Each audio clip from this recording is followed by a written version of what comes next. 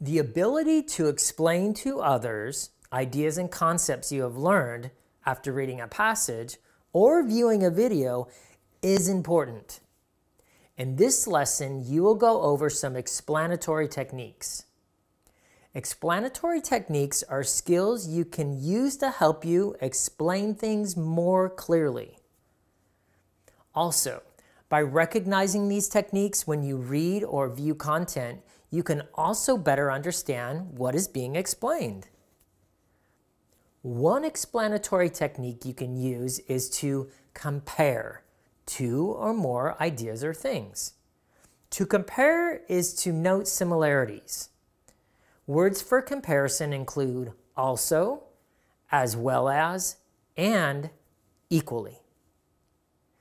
Here is an example of using a comparison word to explain the formula for the area of a square. The formula for finding the area of a square is also used for a rectangle.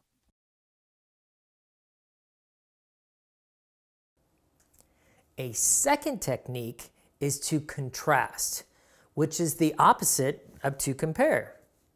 When you contrast, you find differences between ideas or things.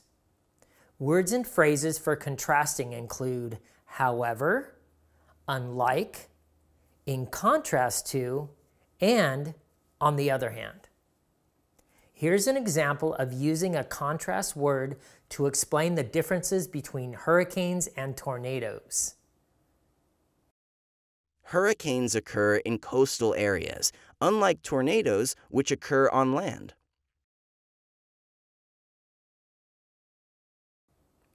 A third technique is to use cause and effect in order to explain what happened as a result of a previous related action. Words and phrases to indicate cause and effect include if, then, because, so, and as a result. Here's an example of using cause and effect to explain what happened after the school fundraiser. As a result of the school fundraiser, each student received their own laptop.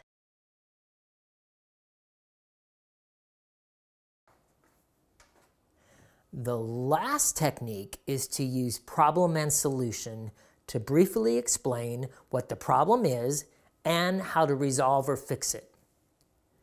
Words and phrases to indicate problem and solution include the problem is, the solution was, the question is, or the outcome depends on.